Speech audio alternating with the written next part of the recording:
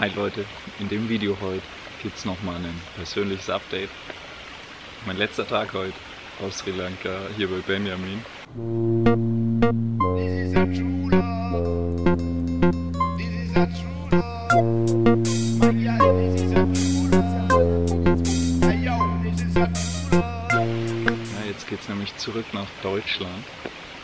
Und ich habe hier jetzt den Winter eine total schöne Zeit verbracht. Es waren jetzt zweieinhalb Monate oder so, wo ich auf Sri Lanka war. Und heute ist mein allerletzter Tag hier bei Benjamin. Und wenn ihr es noch nicht mitbekommen habt, äh, schaut euch mal die anderen Videos an, die sind auch in der Infobox verlinkt.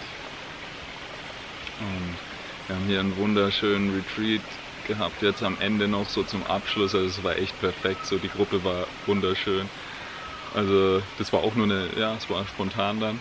Ich wusste noch nicht, ob ich dieses Jahr im Winter einen Retreat mache. Und dann bin ich hierher gekommen, irgendwann im Dezember, und dann haben wir spontan gesagt, hey, es bietet sich ja einfach an, es ist so eine traumhafte Gegend hier. Und ja, dann haben wir einen kleinen Fastenretreat gemacht, acht Tage. Also wer sich dafür interessiert, könnt auch einfach mal unten in der Infobox schauen, da ist verlinkt die Sangha-Seite, die Gemeinschaftsseite. Und ja, es war echt eine tolle Zeit einfach. Es war eine ja, schöne kleine Gruppe. Wir waren acht Leute zusammen und es ist so viel passiert. Es war, oh ja, war einfach eine wunderschöne Zeit und ich fand es besonders schön halt bei dem Fasten, weil jeder auf sich gehört hat. Teilweise, oder viele waren drei oder waren sogar vier Leute dabei, die das erste Mal gefastet haben. Und für die war es eine wunderschöne erste Fastenerfahrung. Und jeder hat da individuell, was ich so schön halt fand, auf sich gehört, wie lange er fasten soll. Also es sind drei Fastentage vorgesehen bei dem Retreat waren. Und es sind acht Tage insgesamt, zwei Auf- und Abbautage. Und ja, jeder hat da wirklich auf sich gehört. Der eine oder andere hatte schon eher angefangen, so auch jemand dabei, der Trockenfasten gemacht hat, ja, über sieben Tage. Und schon am Fasten war, als er angekommen ist. Und es ist echt einfach wunderschön, dass da jeder selber so auf sich gehört hat. Und ich habe noch ein anderes Video dazu gemacht. Ich weiß nicht, ob es vorher oder nachher online geht. Aber da ging es um Wettkampf dass es mir hauptsächlich auch bei den Retreats darum geht, dass Fasten kein Wettkampf ist. Bei dem einen passiert in zwei Tagen so viel wie bei einem anderen in zwei Wochen Fasten. Das ist total individuell und man sollte einfach auf den Körper hören, ob es gerade der richtige Zeitpunkt ist.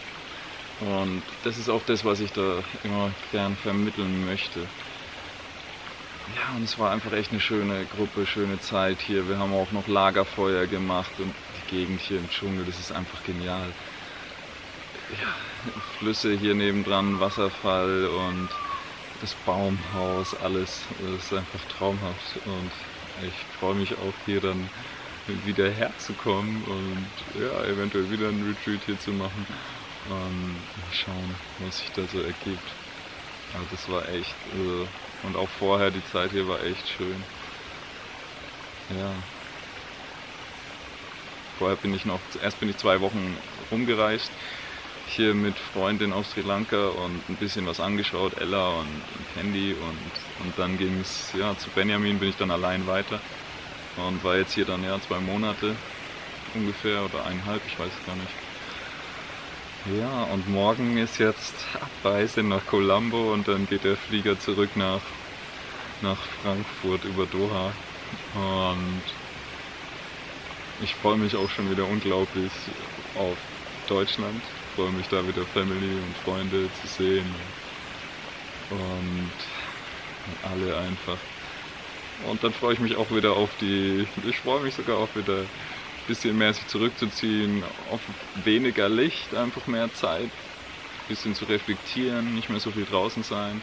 Und ja, genau, Webseite wollte ich neu gestalten. Jetzt neue Domain, ium.world da wollte ich dann jetzt langsam umschalten, die aufbauen und genau, das, das wollte ich jetzt alles schön in Deutschland dann wieder angehen und da freue ich mich total drauf. Hier total schöne Bilder gemacht und die wollte ich dann auch auf die Webseite stellen. Mal schauen, wie ich das Ganze gestalte. Und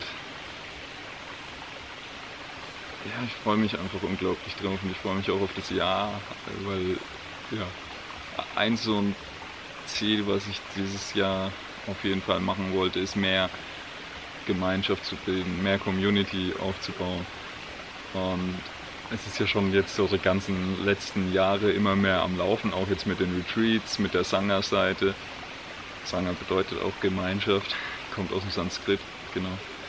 Und es ist halt wirklich schön zu sehen, was sich jetzt bei den Retreats auch immer ergeben hat. Also beim Sommerretreat waren ja Arthur Martin dabei. Schöne Grüße, wenn ich es übrigens schaffe. Und die waren dann auch wieder ja, beim, beim Fasten in der Rhön dabei. Und jetzt beim Fasten in der Rhön war auch Chantal dabei, die jetzt wieder dabei war. Und die haben sich jetzt untereinander auch ausgetauscht und treffen sich jetzt wieder in Thailand. Und es ist wirklich schön zu sehen, wie sich da immer mehr zusammentut und so ein, ja, so ein, einfach so eine Gemeinschaft entsteht und immer mehr Austausch. Und ich wollte jetzt auch eine Facebook-Gruppe starten. Beziehungsweise, ja, die, die müsste jetzt schon angelegt sein, wenn ihr das Video schaut. Und ich verlinke sie drunter, also schaut auch mal in der Infobox, wo ihr einfach eintreten könnt. Eine allgemeine Gruppe, ja, für alle, die hier auf dem Weg so sind, auf dem, wie man es nennen mag, einfach auf einem bewusst werdenden Weg, Rohkostreinigungsweg oder einfach in diese Richtung gehen. Selbstverantwortung zu übernehmen und da ein bisschen Austausch suchen und ich fände es auch schön dann auf Dauer in Deutschland einfach irgendwo einen Punkt zu haben, wo sich einfach nur, nur ganz klein kann das auch anfangen. Das kann dann, das wächst dann eher automatisch ganz schön und organisch. Und kann einfach nur eine WG sein, dass sich das dann langsam ja, weiterentwickelt. Einfach nur eine Wohngemeinschaft erstmal, vielleicht ja, einfach ein Haus, wo jeder zusammen mietet und ich glaube auch jetzt, äh, genau, Ramona hat es glaube ich auch erwähnt und das Dennis im Wald, der, die haben jetzt anscheinend auch so eine Wohngemeinschaft, ich weiß nicht, ich habe nur mal ein Video reingeschaut und fand ich auch total cool und so in der Art.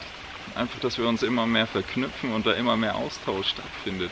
Und es ist wirklich so, das tut so gut. Ich merke das immer wieder bei den Potlucks, den Leuten, wenn die sich austauschen und vor allem dann auf Dauer da, dabei zu bleiben. Das hilft den Leuten so unglaublich weiter. Ja, und deswegen, ja, ich habe jetzt mal eine Facebook-Gruppe eben angelegt für alle Leute, die ja, auf diesem Weg sind. Genau.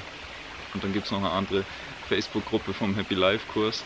Genau, das ist die, alle, die im Happy Life Kurs sind. Und und noch eine Gruppe für die Leute, die bei den Retreats waren, die sich da auch nochmal austauschen können. Das ist wirklich schön so. Chantal trifft sich jetzt halt auch wieder mit, mit Arthur in Thailand und ja, mit Chantal war ich jetzt dann auch hier lange Zeit und es ist echt einfach schön, wie sich da immer mehr zusammentut, wie man sich da gegenseitig unterstützt und wieder ja, so ein ganz neues Feld geschaffen wird. Ja, und da freue ich mich drauf, dass einfach 2018 dann mal, wollte ich auch in Deutschland dann mehr, immer mehr da mal schauen. Weil gerade in Deutschland ist es eben so, man fängt dort an und ist auf dem Weg und dann, wenn man sich, ja, bis jetzt gibt es nur die Potlucks. Ich fände es auch schön, wenn immer mehr noch ja, so eine Gemeinschaft entsteht, wo immer bewusster gelebt wird, gesünder gegessen wird, der Körper langsam gereinigt wird und man auf diesem Bewusstseinsweg einfach weitergeht und diese Selbstverantwortung übernimmt. Ja, das ist so ein Ding, wo ich so den Samen setzen wollte 2018. Und das weitere Ding ist, der zweite Samen, den ich setzen wollte 2018, ist, dass ich Schulprojekte starten wollte, wo Kindern einfache Mittel an die Hand gegeben wird, werden, ganz einfache Techniken. Fünf kleine Übungen habe ich da entworfen und dazu kommen aber dann noch extra Videos, wo ich das dann mal vorstelle und würde mich da riesig über euer Feedback freuen. Und ich dachte da wirklich einfach ja, in Schulen zu gehen und wirklich dann vielleicht über einen Verein auf Spendenbasis, dass man da ähm, ja, irgendwie einen Pädagogen oder wen auch immer anstellt, Und wo du dann mit ja, ein paar Euro, wirklich nur mit einem Euro, einem Kind beibringen kannst oder zeigen kannst, die Mittel an die Hand geben kannst, dass es später im Leben einfach standhaft ist. Und mir geht es dabei, wieder Individuen zu schaffen, bei denen es egal ist, die nicht irgendwie vertätschelt werden müssen, um äh, irgendwas zu machen, sondern die selbst so standhaft in sich sind, dass es egal ist, durch was für ein System sie gehen, dass sie so selbstbewusst und standhaft und einfach die Möglichkeiten und Mittel an die Hand gegeben bekommen, dass sie einfach im, im Sturm tanzen, im Regen tanzen, völlig egal, was kommt. Und bei vielen Kindern sehe ich heutzutage, ich gebe ja auch jetzt seit Jahren Inliner-Kurse an den Schulen und ich sehe einfach, wie, wie die Kinder sich entwickeln und was für einen Einfluss das hat, was die Eltern machen. Und ich möchte einfach, dass die Kinder wieder selbst Mittel an die Hand bekommen. Ganz einfach Meditationstechniken, dass du deine Gedanken beobachtest, dass sie wieder ein anderes Bewusstsein entwickeln. Und dass diese Kinder wirklich, das ist wie wenn sie Fahrrad fahren, ne? wenn du irgendwie so am Schwanken bist und nicht mal das Gleichgewicht hast, dann kannst du dich nicht umschauen, das Leben nicht genießen. Wenn du gelernt hast, Fahrrad zu fahren, wenn du die Balance hast, dann ist es dann kannst du anfangen zu leben, dann kannst du springen, dann kannst du über Sprungschanzen springen, dann, dann suchst du nach Herausforderungen, dann suchst du was, was Spaß macht und gehst ein ganz anderes Leben. Und ja, das möchte ich Kindern einfach wieder mehr ermöglichen, aber dazu kommen noch viel mehr Videos. Ich habe mir das schon ganz, ganz ausführlich im Kopf entwickelt und möchte es dann einfach mal nach draußen geben, noch viel klarer und genauer. Das war jetzt nur mal ein kurzer Anschnitt. Genau. Damit wollte ich 2018 beginnen, weil ich meine, ja, die Kinder, es ist die Generation, die die Welt verändert. Die Kinder sind die Zukunft und sind auch so flexibel und so, ja, so kraftvoll, so einflussreich. Und wenn die Kinder wieder die Möglichkeit heutzutage haben, sich frei auszudrücken und richtig zu entwickeln, dann ist da so ein Potenzial drin, was einfach die Welt verändern kann. Und das ist mir einfach eine ganz wichtige Sache 2018, die ich einfach als Herzensprojekt so starten wollte.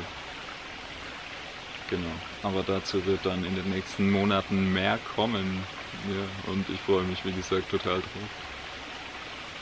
Bin da gespannt, was ihr so sagt, für ein Feedback da gebt. Werde die Videos dann wahrscheinlich hier erstmal auf dem Kanal hochladen. Ja.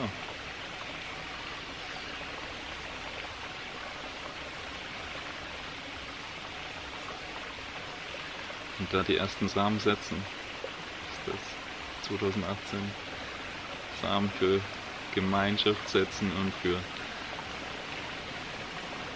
Austausch und dann für dieses Schulprojekt mit den Kindern. Ja. Bin ich sehr gespannt drauf, wie das wird und ich freue mich jetzt auch total wirklich wieder nach Deutschland zurückzukommen.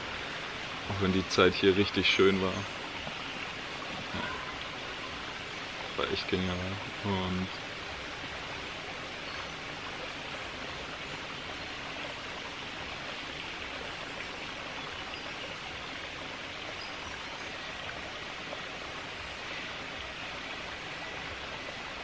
ja, hab die Zeit hier sehr genossen.